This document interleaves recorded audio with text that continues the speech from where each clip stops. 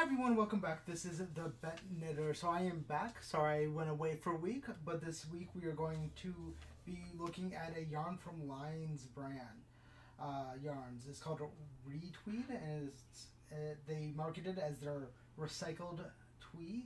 Um, you know, they put on the label how you know eco-friendly it is, which is kind of neat. Um, so I will put all the information in the description below in case anyone's interested. Um, I'll also try and link to where it is so that way if you want to get some, um, you can go and get some. Now this has 202 yards or 185 meters. Uh, it's 40% wool, 40% polyester, and 20% acrylic. Um, it actually says that it's ma machine washable and dryable, and it actually feels machine washable and dryable dryable. So it it's a harder yarn, which is very nice. That way, it feels like it can go through some wear and tear and be okay, which is nice. Now you can definitely uh, feel the wool in it. Um, if you, for those who haven't done wool, you know, wool tends to be a little bit rougher. You know, if you ever get like straight up wool, tends to be a little bit rougher.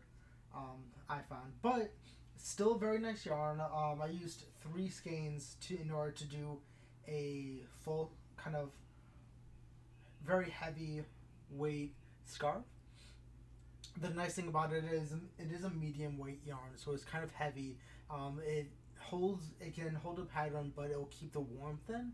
Um, so it, I'm really a fan of the blend of wool, polyester, and acrylic. So that way, if you want something warm and cozy, um, this is a good yarn to use.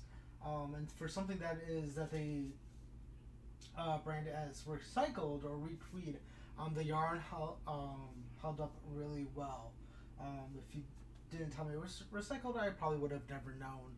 I don't know what the recycling process is for this type of yarn, but I definitely am a fan. It has some nice kind of, as you can see, a deep green color to it. So um, if you like kind of these deep dark tones, then definitely take a look into this. Um, it is a little bit on the pricey side. If I'm remembering correctly, I think I got on sale, but I will track down a price for you um, in case anyone's interested in the description below.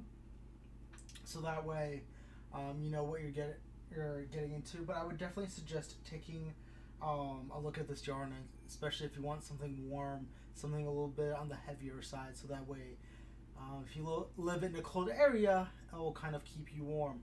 So that is the end of my room. Uh, my video. Make sure to like and subscribe. And if you have any comments, questions, concerns, let me know down in the comments below. Also, if there's any other yarns you want me to review, let me know, and I'll be sure to ch uh, check it out and let you guys know what I think and I will see you next week. Bye!